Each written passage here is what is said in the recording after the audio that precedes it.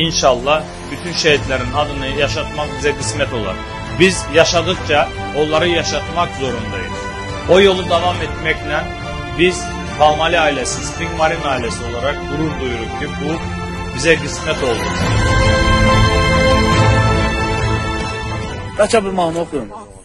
Dumanlı dağların başında durmadan özüme bir xeymə qurdum.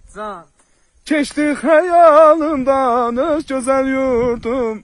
Dumanlar başımda dastana döndü, dastana döndü.